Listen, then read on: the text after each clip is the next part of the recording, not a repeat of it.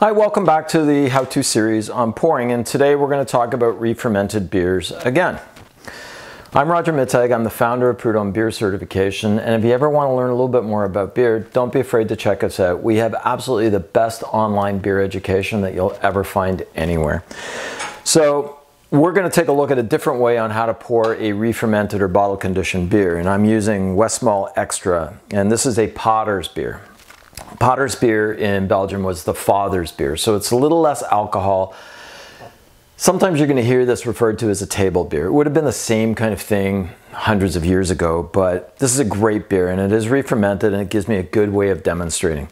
So a more North American way or even a German way of doing this because you see this done with a lot of Weiss beers and in some cases some Belgian wit beers.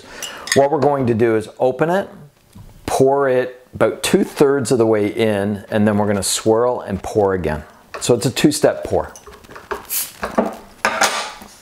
So we start, as we always do, on a 45 degree angle and we're gonna pour gently again because we don't necessarily want too much noise. So I get this really nice foam head and now I'm gonna swirl it. I'm gonna bring all that sediment up off the floor of the glass so that I can get all the flavor in the body and I'm gonna go right back in. And we're gonna make sure that this is a really nice pour. It's crested right over at the top of the glass.